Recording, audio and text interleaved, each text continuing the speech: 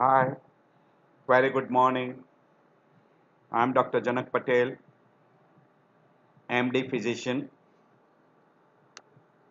I'm again presenting an another video on how you approach to a chest pain. Little modification what I've done compared to the previous one. We are always afraid that any person who comes to you with a chest pain, we are always interested in identifying whether it is cardiac or non-cardiac. Because cardiac chest pain can be lethal, has got very high mortality. But don't forget that some non-cardiac condition can also have a very high mortality. But we are always interested in differentiating cardiac from non-cardiac chest pain.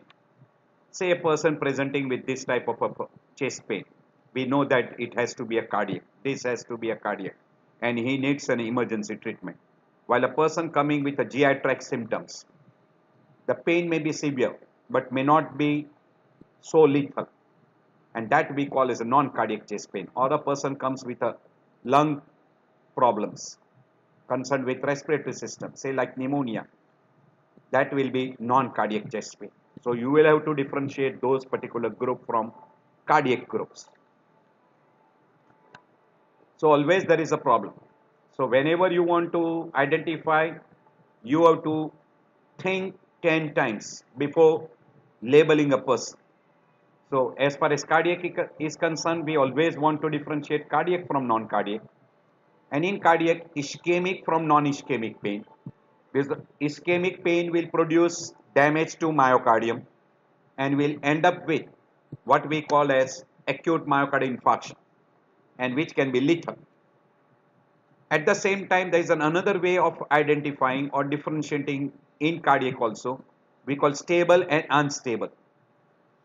Unstable means when the person blood pressure is falling, is having a symptom signs of shock stage, is markedly dyspneic, he has got severe symptoms of LV dysfunctions, his extremities are cold clammy, there is cyanosis, there are a lot of basal crackles, etc. We call that person is unstable.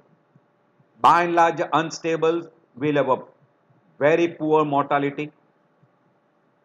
Mortality will be very, very high and prognosis will be very poor.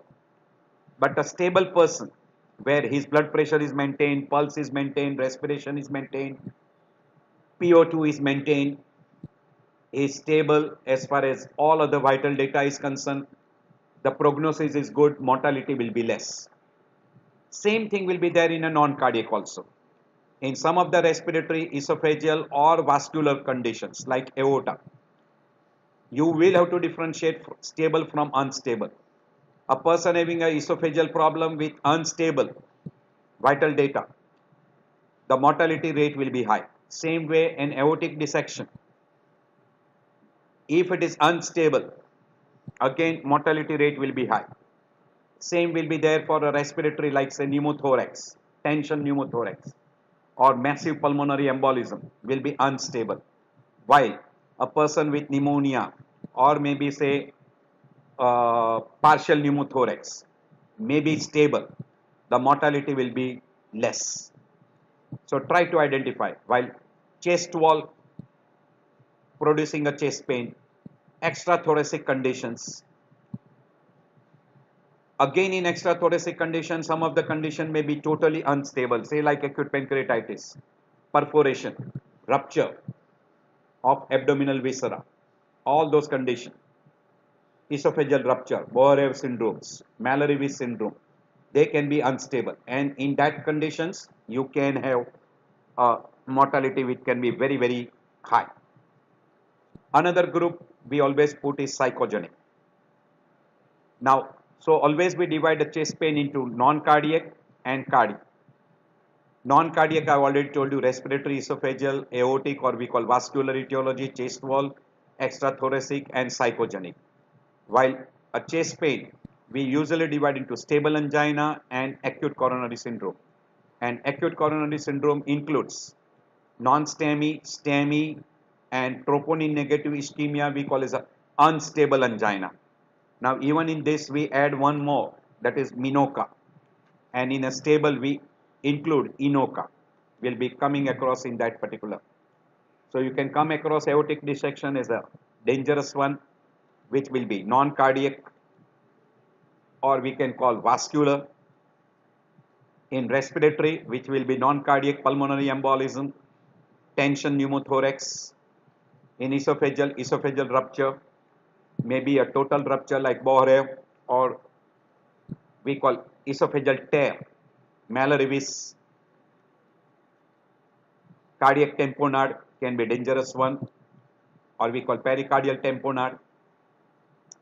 So cardiovascular causes pleural causes or respiratory causes GI tract causes chest wall extrathoracic conditions like acute abdomen liver abscess pancreatitis or non almost benign type post-herpetic neuralgia psychogenic. So try to differentiate those particular group and for differentiating that you will have to take a good history which should include onset duration site character severity radiation aggravating factor precipitating factor. What relieves or what decreases that is we call aggravating factor and relieving factor. Associated symptoms history of family history personal history social history history of taking medicines risk factors etc and then after having a good history you should put your differential diagnosis and depending upon the probable differential diagnosis most possibility you go for uh, investigations.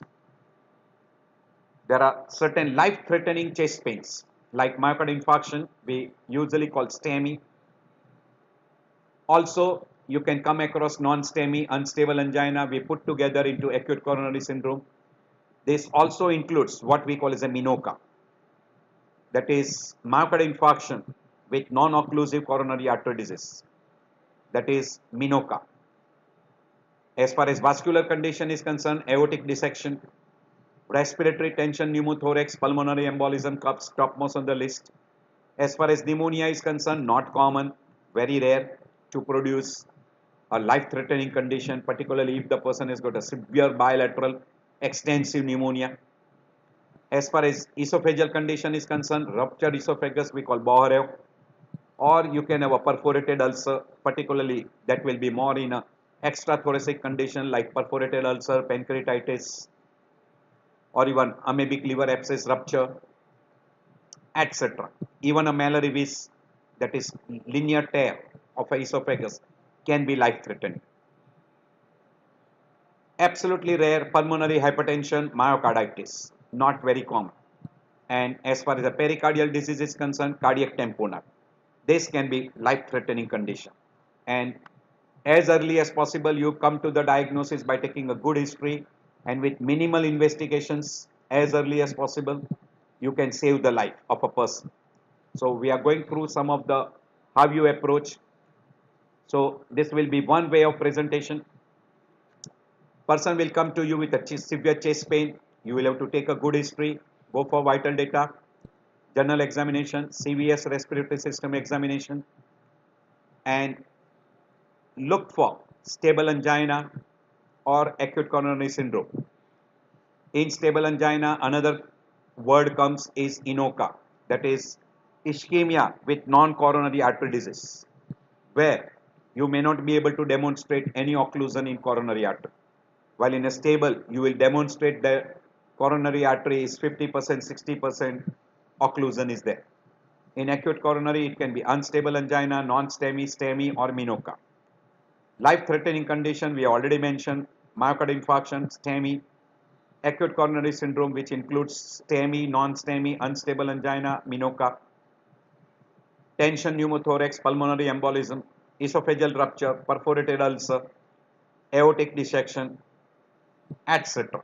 This will be all the conditions as far as chest is concerned. But in abdomen, you can come across what we call as a perforated ulcer, pancreatitis, acute pancreatitis, amoebic liver abscess rupture, etc. can be life threatening and person can come to you with a chest pain.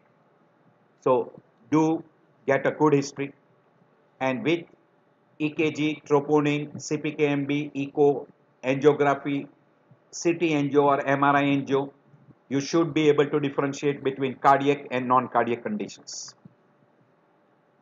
Always try to clinically identify unstable and stable. Unstable will be very commonly this group. Myocardial infarction, ACS, aortic dissection, tension pneumothorax, pulmonary embolism, Boerhaave syndrome or we call rupture esophagus, perforated ulcer, etc. While stable, stable are usually what we call as where vital data is usually maintained close to normal.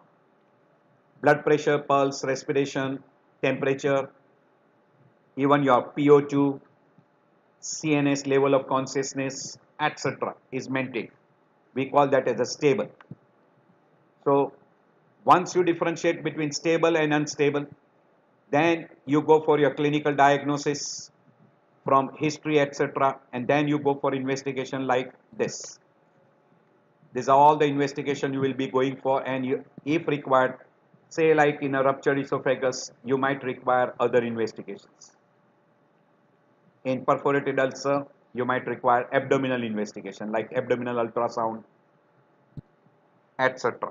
So try to investigate according to your clinical suspicion.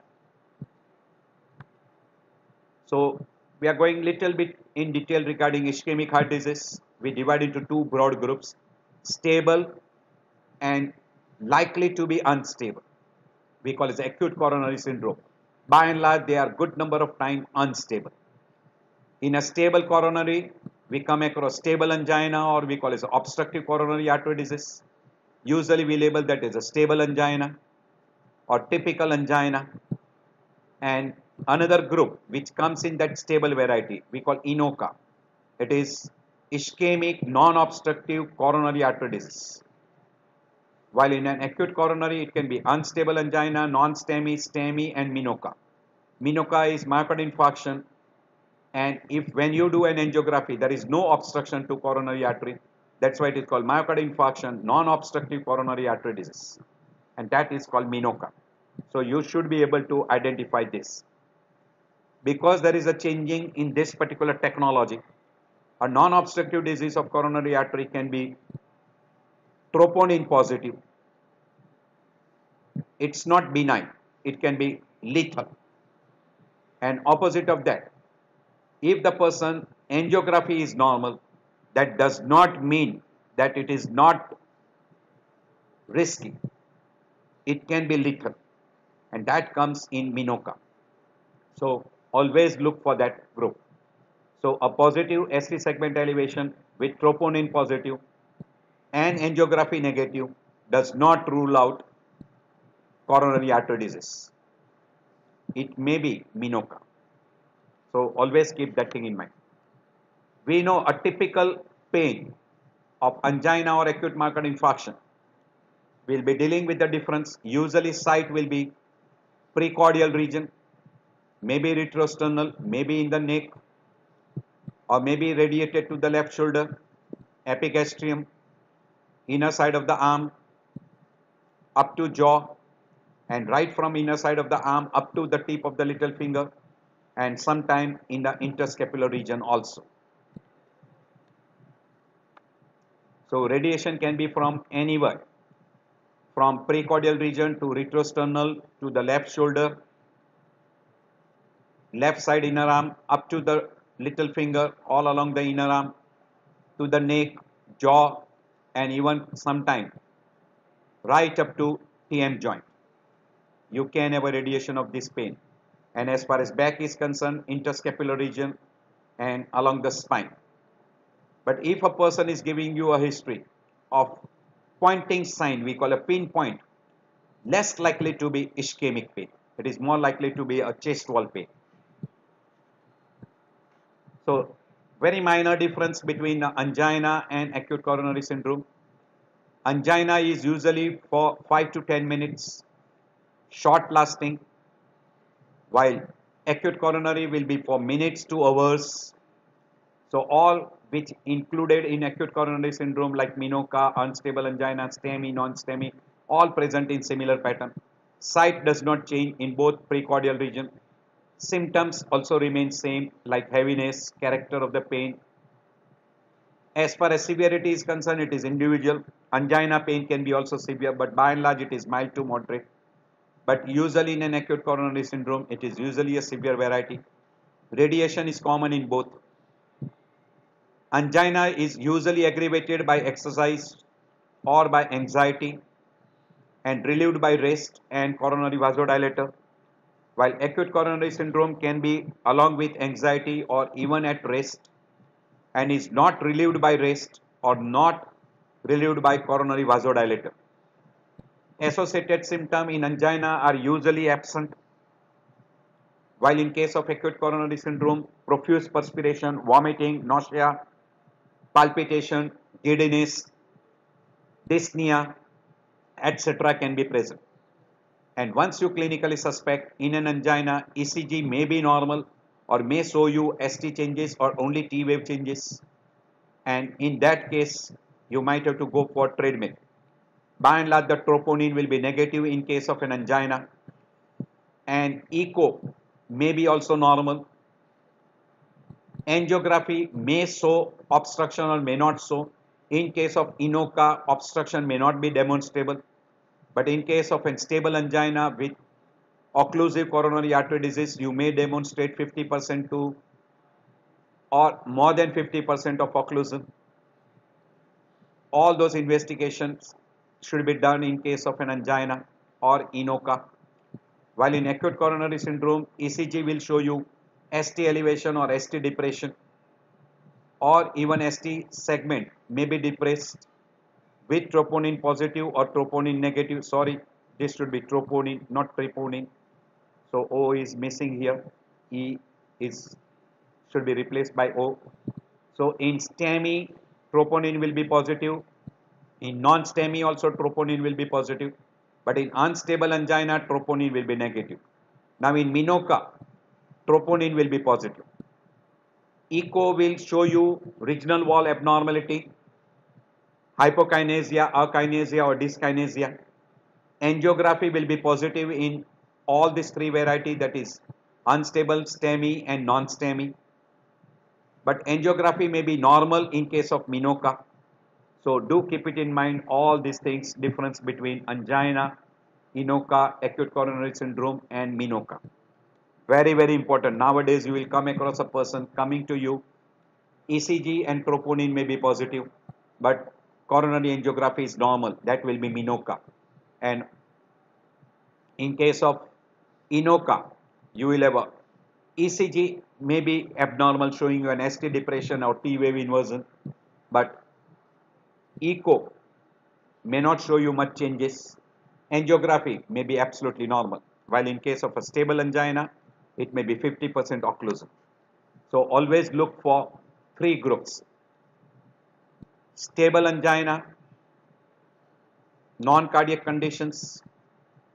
So in a non-cardiac condition, by and large, the typical history will help you to identify, have a good examination, respiratory, cardiovascular, abdominal examination should be done thoroughly. Look at the ECG. In a non-cardiac, ECG will be usually normal. While in a cardiac variety, we'll come across two big groups. One, stable angina, where ECG may be normal or it might show you T wave inversion or slight ST depression and treadmill test will be positive. While in case of unstable angina and non-STEMI, ST segment will be depressed more than 2 small square. Troponin will be positive in case of a STEMI, but troponin will be negative in case of unstable angina. So look for that particular group. And when there is an ST segment elevation, again you will have a two another groups in ST elevation. ST elevation can be because of STEMI, where troponin will be positive. and if there is an ST elevation with troponin negative, it can be variant angina, or we call as a Prinzmetal angina, or variant angina, or vasospastic angina. So in that particular ST segment will be elevated whenever there is a coronary artery spasm. Troponin will be negative and as soon as the spasm is relieved by treatment or spontaneous, ST segment will come back to normal. So that is typical variant angina. So do keep it in mind. And once in a while, you will come across a group of people where you can come across troponin positive and ST segment may be showing you what we call as a STEMI equivalent. And there are some other condition where the ST segment may be elevated, but they are mimics like early repolarization, pericarditis, etc. That we will be talking separate. So difference between unstable angina, stable angina, non-STEMI and STEMI already I have discussed. To add one more thing in a STEMI, even if there is a new appearance of a LBBB or if there is a presence of LBBB previously and there is an infarct, you should go for Sgarbossa's criteria. So always look for this and try to identify whether it belongs to stable angina or it belongs to unstable angina or non-STEMI, STEMI, MINOCA, etc. I have given you a very enough idea. If still if you find a problem, you can ask me anytime. So troponin positive non-obstructive coronary artery disease, also short form called as a TPN OCA. So this is NOCA that is non-obstructive coronary artery disease and we call troponin positive. So troponin is positive but there is a non-obstructive coronary artery disease and that is given a name MINOCA. And in MINOCA it can be plaque rupture, coronary artery spasm, microvascular dysfunction, thromboembolic condition etc. This can be ischemic groups. While you can have a troponin positive but no involvement of coronary artery in a non-cardiac groups that is pulmonary embolism, sepsis, stroke, etc. You can have troponin positive in that group, but angiography will be normal. Also in a non-ischemic groups like myocarditis, you can have a troponin positive. Takotsubo, troponin will be positive. Some of the cardiomyopathy, also you can have a troponin positive. But coronary artery will be normal, means angiography will be normal do remember this particular group. Person will have a chest pain, will have some amount of ECG changes and good number of time it is mistaken as STEMI group. So always try to rule out these two groups also, extra cardiac groups and non-ischemic cardiac causes. Keep that thing in mind. And particularly in a cardiac groups where there is a non-ischemia, myocarditis, Takotsubo and some of the cardiomyopathies. Always remember this.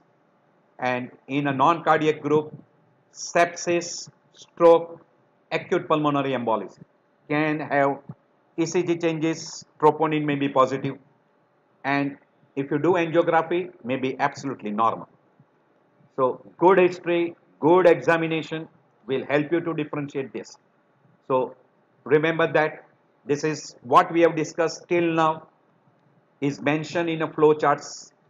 So always a person who comes to you with a severe chest pain and you are suspecting acute coronary syndrome, you have to differentiate from clinical history into different groups, non-cardiac groups, stable angina, possible acute coronary and 100% possibility, 100% possible acute coronary.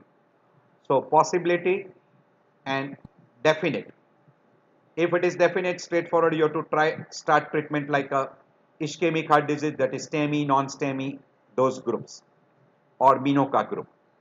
While if it is a possible, you have to observe for a while, re-investigate, take the help of other investigation like stress study or echo study, etc. and try to rule out whether it is acute coronary syndrome or not. And if it is positive, you have to treat as an acute coronary syndrome. So same thing is shown here. You will have to differentiate into non-cardiac, typical, atypical angina, possible and definite variety and go according to your what finding you come across. At your leisure time, you can go through these, two charts. They are very good. Whatever I have explained you before is mentioned here. Now, this is one important thing what you should do. Whenever you suspect STEMI, clinical always go for a ECG. In ECG, there is an if there is an ST segment elevation. Always go for a urgent angiography. Now there is one problem in this. If person is given sublingual nitroglycerin or calcium channel blocker, vasospasm is relieved, ECG will come back to normal and chest pain will be relieved. In that particular group, you don't require an angiography. But by and large, that is variant angina. So if you rule out variant angina and if still ST segment is elevated, go for urgent angiography. After taking an angiography, no coronary stenosis or if there is a lesion less than 50%, further investigation should be done and you should suspect MINOCA. But if there is an obstruction more than 50%, always treat as a STEMI. So this is the basic principle.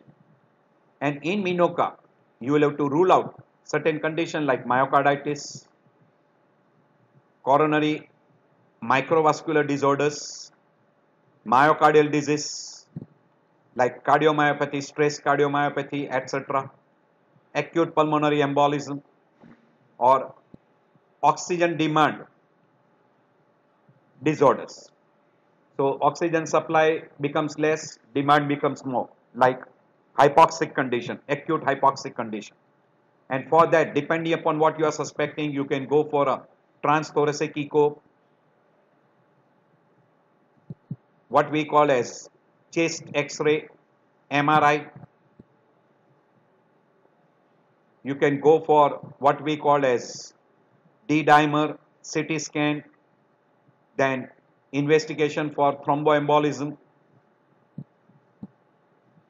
extra cardiac investigation if required, blood test, chest x-ray, chest CT, all those you can go for. Or you might require even an endomyocardial biopsy in case of a cardiomyopathy or myocarditis.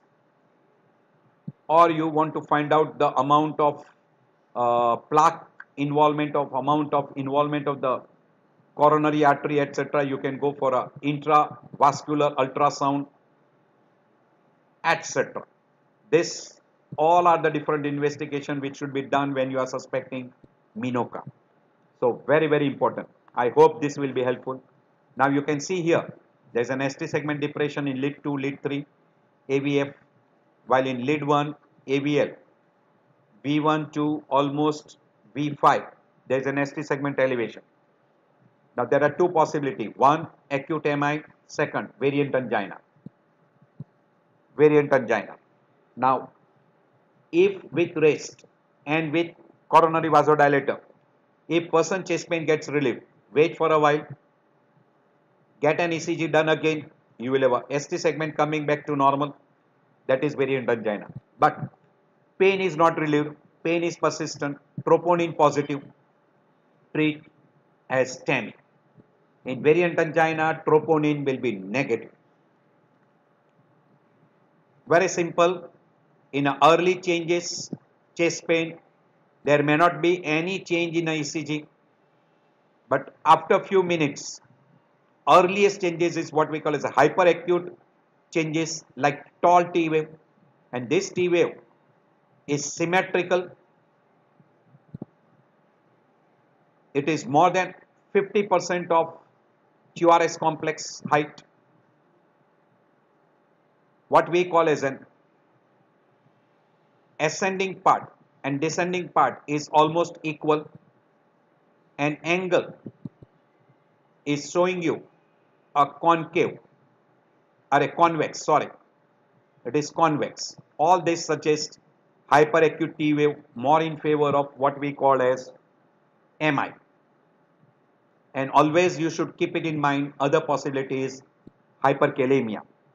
Hyperkalemia. You must keep a possibility of hyperkalemia now further damage further progress. Now ST segment is elevated with T wave upright. This is ST segment elevation with T wave upright and then T wave becomes inverted. Then you have got an appearance of a Q wave ST segment starts coming down. It becomes isoelectric, T wave is still inverted. And in a healing, Q wave persists. It is deeper Q wave, deep and wide Q wave. ST segment isoelectric and T wave becomes upright. This will take few weeks to a month. But if ST segment elevation persists even after many months, suspect ventricular aneurysm. So same thing shown here. This is normal and then you have got a tall T wave within few minutes. Then within few hours you get a Q wave appearance with the ST segment elevation. Then Q wave becomes deeper, ST segment starts coming down with T wave inversion. Further deepening of the Q wave, ST segment comes down further, T wave remains inverted.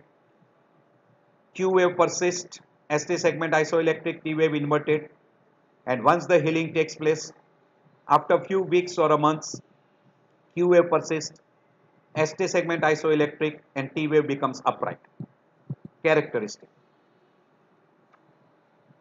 Depending upon in which lead you get, if you get in V1, V2, anteroseptal, V3, V4 anterior wall, V5, V6 lateral wall. If you get only in lead 1 AVL high lateral, lead 2, lead 3 AVF inferior wall, right ventricle you will have ST segment elevation more in 3 than 2 and you will have also in V1 and if you take a right side lead that is V4, V5, V6 ST segment will be elevated and reciprocal changes are mentioned here. When you get in V1, V2 it will be in V7, V8. In anterior wall it will be in a V8, V9. Lateral wall no changes. In high lateral inferior wall that is lead 2, lead 3 AVF.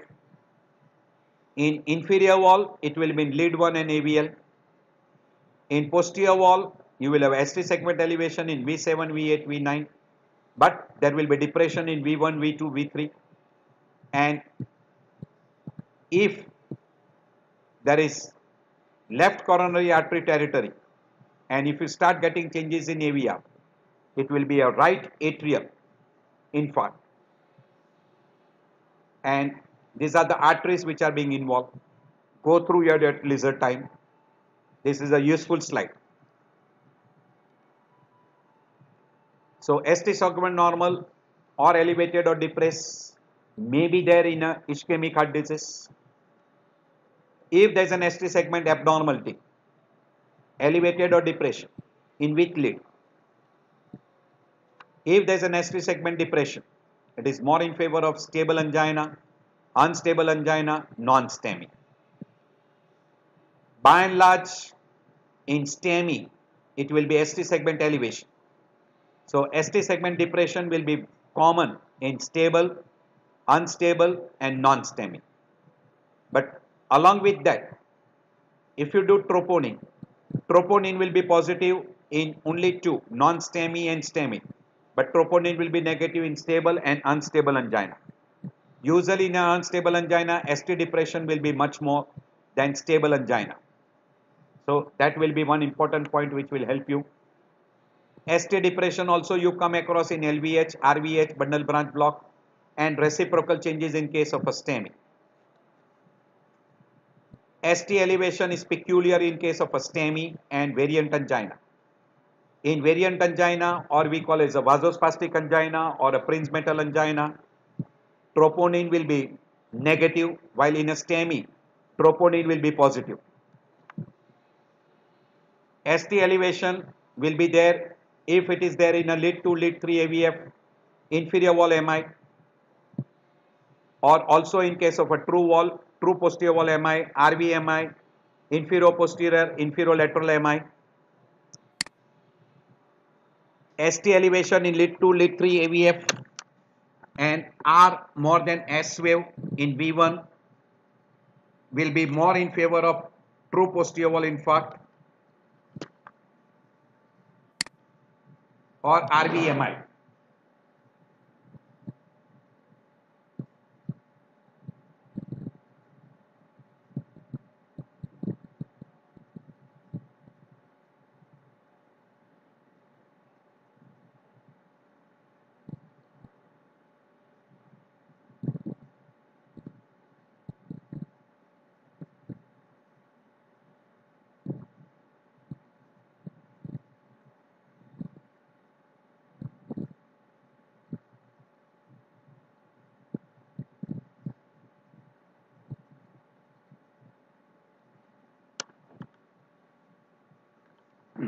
Sorry for interruption. Now, further, if R wave is bigger than S wave in V1, means R wave is prominent, and there is an ST depression or there is an ST elevation, suspect true posterior MI, RVMI or Brugada syndrome. You should look for these three conditions. ST elevation from V1 to V6. If it is V1, V2 anteroseptal, V3, V4 anterior wall, V5, V6 anterior anterolateral. And when it is V1 to V6 extensive anterior. ST elevation in V5, V6 plus lead 2, lead 3 AVF inferolateral and if there is an ST elevation in V1, V2 ST depression, sorry, ST depression in V1, V2, suspect true posterior MI. ST equivalence, meaning there are few changes in some of the selective leads, you should suspect some of the condition like ST elevation in AVR, Wellens syndrome, you will have a ST depression and T wave inversion in V2, V3, V4 de Winter sign, there will be ST changes with biphasic T wave in de Winter sign. And Sgarbossa's criteria we have already discussed. Sorry again, I is missing here, criteria, I is missing. That will be in presence of left bundle branch block. If there is an acute MI, you should look for that. And in a true posterior MI, I have already told you, in a true posterior MI, you will have a ST segment elevation in V7, V8, V9 and there will be ST depression in V1, V2. You will have a ST depression. Do look for that. In an RVMI, you will have a ST elevation in V1, V2 and V3, V4, V5, V6R. So in the right side chest lead, V3, V4, V5, V6R, you will have a ST elevation. So in those particular groups, look for RVMI. Now there is one another close differential diagnosis for this is we call pericarditis. Now in a pericarditis there is a ST segment elevation or we call it a J point elevation. That J point elevation you will see diffuse in multiple leads. In AVR you will get a PR, PR segment will be elevated and ST segment will be depressed. This is peculiar changes of acute pericarditis in AVR. So anytime in AVR if you see an ST segment depression, it is more in favor of acute pericarditis. Also you can come across in case of what we call as a atrial infarcts. So do keep it in mind, atrial injury. So you can see here there are J point elevation, lead 1 lead 2 AVL AVF then you got in V4 V5 V6 even there is a slight change here. In all this you got the changes. And look in AVR there is an ST depression with PR segment elevation. So when you get that straightforward. So if you want to look for pericarditis look in AVR and look for ST segment elevation in multiple leads and it will be not what we call as a contiguous leads. And this is a difference between acute pericarditis, myocardial infarction and early repolarization. Just one little idea regarding that. In a early repolarization, you will get the changes in the chest leads. You will have a ST elevation in a precordial leads while pericarditis you will get in a limb leads as well as a precordial lead. While in a myocardial infarction we call as lead 2 lead 3 AVF consecutive leads or V1 V2 V1 V2 V3 that way. So that will be peculiar in case of a myocardial infarction and you will have a simultaneously reciprocal changes also. Troponin will be positive while in early repolarization troponin is negative in pericarditis also troponin is negative here it is concave upwards. This is also concave upwards while this is convex and this in both this condition in all these three there is a J point elevation. So you will have a convexity, this will be concave. So try to look for those particular things. Now after differentiating between non-cardiac chest pain, stable angina, unstable angina, non-STEMI and STEMI, always 100% confirmation will be done by angiography and once the angiography is positive you can go for a primary PCI but before that at the local level when the person comes with an ischemic heart disease clinical you are suspecting and it is more in favor by ECG by troponin go for a loading dose of aspirin loading dose of clopidogrel that is 600 milligram of aspirin should be dissolved and given to the person. Clopidogrel also they say that 300 to 600 milligram stat should be given. Even low molecular weight heparin can be given. These are the prime things which should be given and also 80 milligram of atorvastatin is given stat. So this should be the first thing should be done and if there is a facilities for thrombolysis start thrombolysis and make the arrangement to send him to a center where PCI can be done. So primary PCI if the person is having a severe failure and you feel that by doing a PCI you are going to benefit that is called facilitated PCI or rescue PCI etc. These are the words which are being utilized. And at a leisure time when you do it, it is called facilitated PCI. And when you want to survive the patient in presence of severe failure, you can go for a rescue PCI.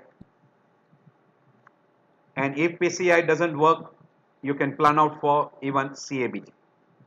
So these are the charts which are there which shows you you should not take more times 5 minutes from the symptoms you should try to uh, go for investigations and confirm the diagnosis within 8 minutes you should start with uh, fibrinolysis we call it a pre-hospital fibrinolysis and then within 30 minutes person should be subjected to angiography and then should be trans transferred to a center where PCI is available.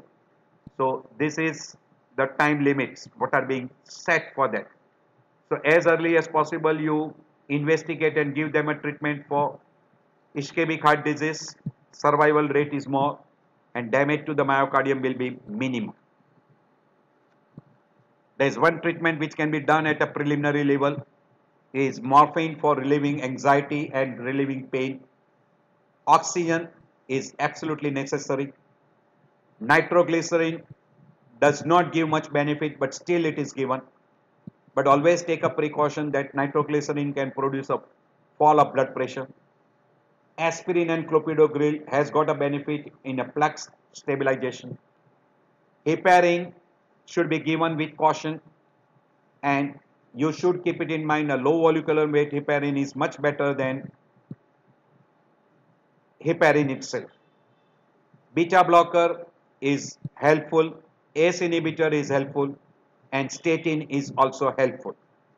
So always keep it in mind and that's why this is a name given Mona H. Bus that is M for morphine, O for oxygen, N for nitroglycerin, A for aspirin, H for heparin, B for beta blocker, A for ACE inhibitor and S for statin. So these are the, all the things required before you subject him even to what we call as thrombolysis. Second group of people which will come to you which we call as extra cardiac always in that also look for stable or unstable very easy because some of the symptoms will help you. The person who comes to you with a chest pain with fever cough hemoptysis uh, thick tenacious sputum dyspnea cyanosis etc you always suspect the possibility of respiratory system. And it is more clearly identified by change in findings in auscultation, inspection, palpation, percussion and auscultation. You can clinically make out whether there is a possibility of pneumothorax or possibility of pulmonary embolism, consolidation, etc.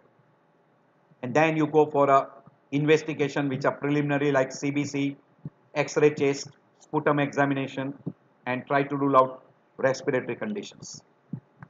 Same way if a person comes to you with a chest pain, retrosternal chest pain, burning pain, increase with food, vomiting, person might have hematemesis, person is already on medicines, this is longer lasting, you suspect GERD and you can go for upper GI endoscopy, preliminary investigation.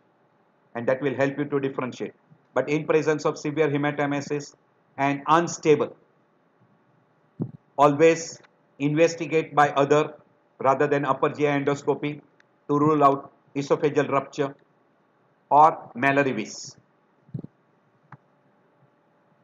If there is a local pinpoint chest pain, local tenderness, there is swelling, redness, warmness, suspect costochondritis or we also call as a Tietze syndrome or history of little trauma and there is a local tenderness. So traumatic chest pain. If there are chronic chest pain, say 6 months, 1 year, 2 year, multiple symptoms and clinically no findings and there are a lot of investigation which are already done before, you can put them straightforward into a group we call as an anxiety group. Sometime you will come across a person with a chest pain with little abdominal finding also like abdominal pain, distension, silent abdomen, etc. or even guarding rigidity. Suspect abdominal pathology producing a chest pain or we call it an extra cardiac condition or extra thoracic condition. Now in this particular group you may not require EKG, troponin, CPKMB, echo or angiography. But in a suspected case where you want to rule out 100% cardiac from non-cardiac groups. EKG, troponin, CPKMB, echo and angiography becomes a prime investigation to differentiate cardiac from non-cardiac.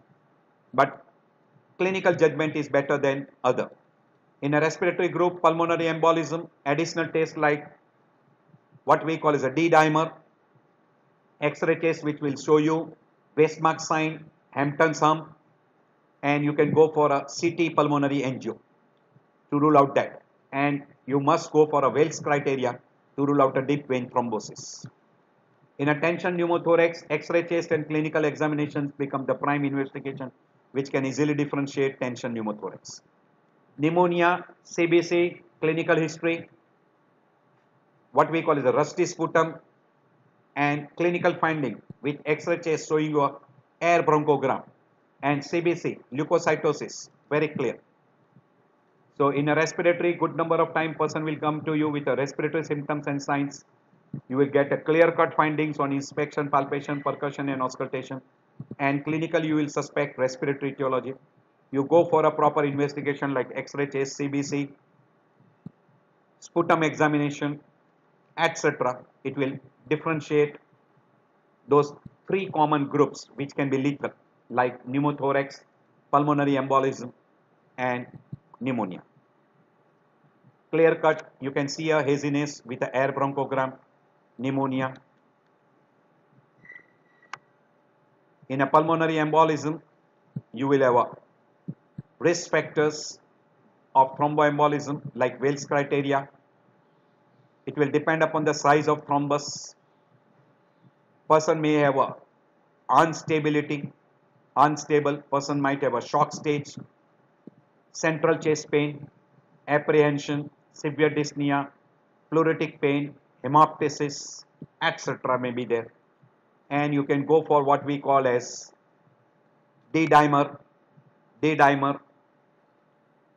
You can go for pulmonary angiography in case of a pulmonary embolism. While in a pneumothorax, X-ray chest and your clinical examination is adequate enough to confirm the diagnosis of pneumothorax. Very clear. Radiolucency, again here radiolucency and shift of mediastinum to the opposite side and collapse of lung. You can see here also there is a collapse of the lung and there will be shift of mediastinum and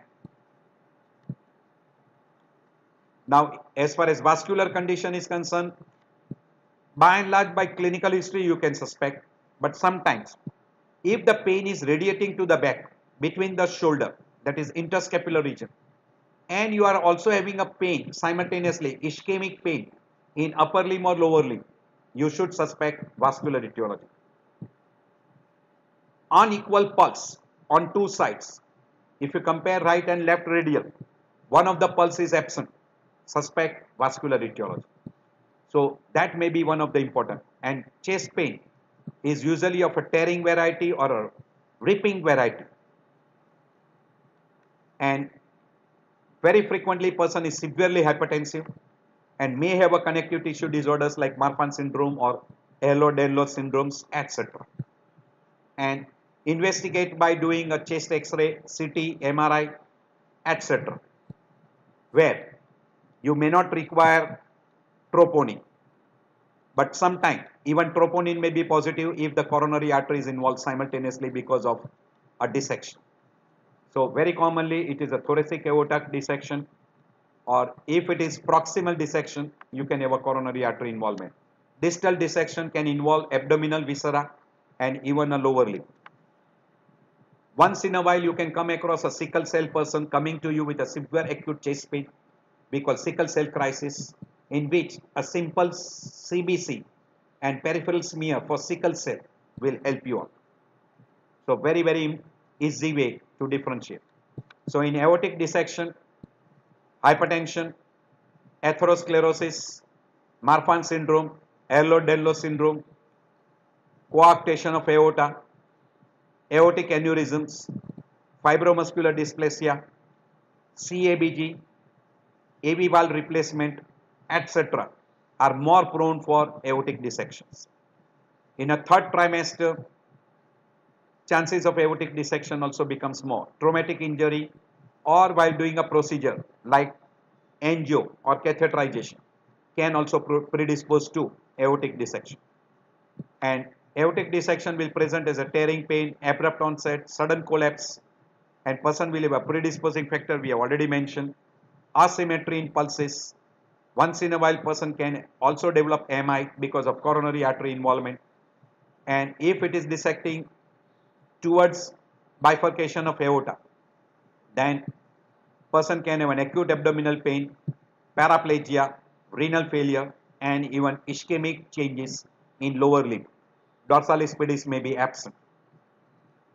Now we go to the GI tract groups where person will have a typical symptoms that is retrosternal pain, epigastric pain, burning character, aggravated and relieved by food, by vomiting, etc.